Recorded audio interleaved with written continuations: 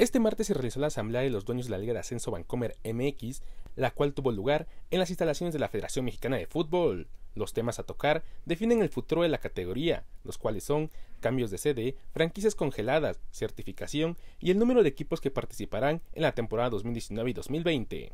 A falta de hacerse oficial, el primer tema que se definió desde el lunes y solo se confirmará en la asamblea es que la familia San Román, dueños de los alebrijes de Oaxaca, congelarán su franquicia por un año, esto después de no poder establecerse en Mazatlán ni en Irapuato, por lo que tendrán una temporada para encontrar una nueva sede. Todo apuntaba a que Oaxaca se quedaba sin fútbol de la Liga de Plata, pero no.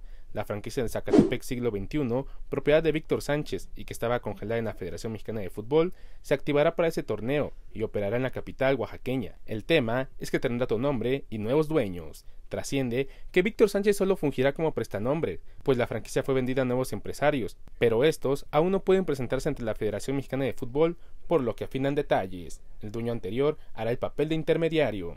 Otro tema importante es el de Cafetaleros de Tapachula. El equipo se mudará a Tuxtla Gutiérrez, Chiapas, en busca de la certificación que les apruebe un posible ascenso a la primera división. Su nueva casa será el Estadio Víctor Manuel Reina y su nuevo nombre serán los Cafetaleros de Chiapas. Incluso ya tienen preparada una nueva imagen. La Liga de Ascenso MX se jugará con tres equipos, se descarta el Atlético San Luis que ascendió y se rectifica el Tampico Madero, que se queda, pues pagó la multa de 15 millones de pesos por haber descendido.